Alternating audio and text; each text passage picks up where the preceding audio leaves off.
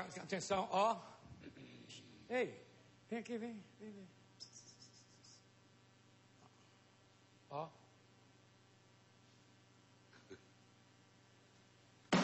Valeu, obrigado, governador, obrigado pela sua presença. Obrigado, Eu espero, e eu vou fazer um comentário, eu espero que haja bom senso.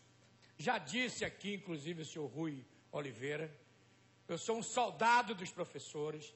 Vamos brigar, vamos cobrar, sabe?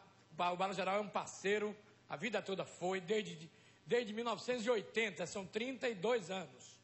Parceiro dos professores.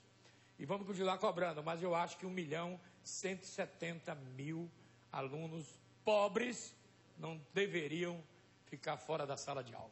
Eu espero que hoje haja um bom senso na Assembleia e a gente possa amanhã comemorar isso. Um abraço, governador. Um abraço a você, obrigado a você e fica meu apelo também.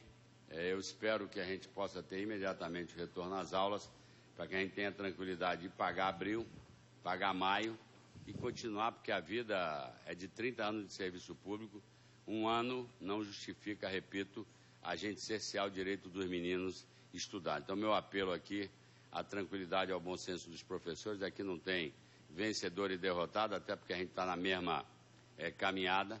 E pedir que realmente se volte às aulas para que a gente possa ter tranquilidade de sentar e ver a possibilidade de melhorar uma categoria fundamental dos professores, mas eu tenho limites e não posso ultrapassar esse limite. Então, agradeço a compreensão de vocês.